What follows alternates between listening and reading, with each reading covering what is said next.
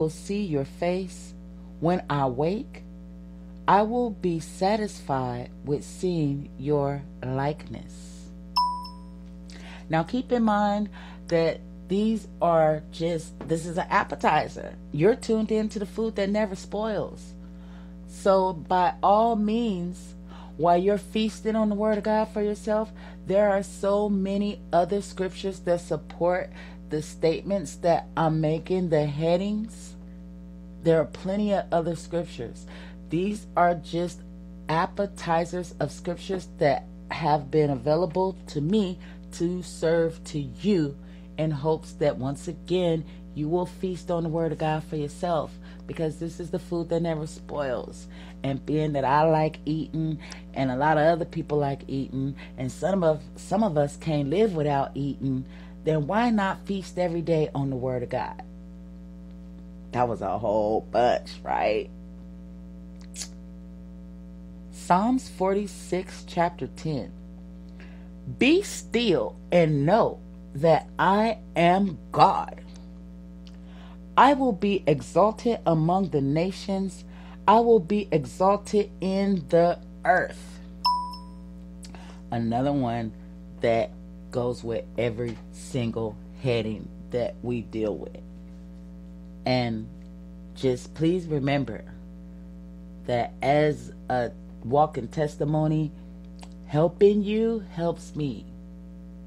I'm on the battlefield every day, just like everybody else. But being committed to the truth, being committed to what I promised the Lord is helping me to continue to be strengthened as I help others continue to be strengthened. It's not an easy task, you know. Only the strong survive, but we can't do it alone. I can't do it alone. When I tried to do things alone, it didn't work out. You know, I kept on trying to cut corners. I kept on making too many mistakes. I kept on making the wrong choices. I'm still with my hands up in the air because I'm lusting for different things. So I have to stay strengthened and prayed up every day.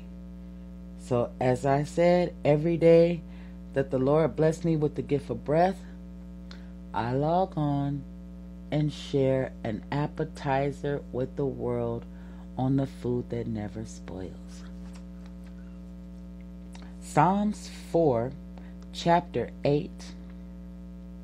I will lie down and sleep in peace. For you alone, O Lord, make me dwell in safety.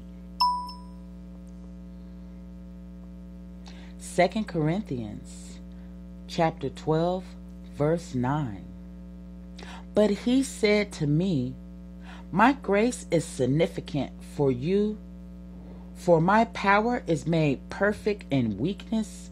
Therefore I will boast all the more gladly about my weakness so that Christ's power may rest on me. Another one I'll have to put a bullet on. Jeremiah chapter 31, verse 3, closing up contentment with intimacy with God. Jeremiah 31, verse 3, as it reads The Lord appeared to us in the past, saying, I have loved you with an everlasting love. I have drawn you with loving kindness. Psalms 81, chapter 11. No, that's Psalms 81, verse 11. For the Lord God is a sun and shield. The Lord bestows favor and honor. No good thing does he withhold from those who walk is blameless. That concludes our scriptures for today on the food that never spoils. thank you for tuning in. Every day that the Lord bless me with the gift of breath, I'll be on your airwaves giving you the food that never spoils. Glory be to God. I, I'm working on a new beat. I'm working on it. But until that beat comes, yeah, you already know if you log on on a regular basis.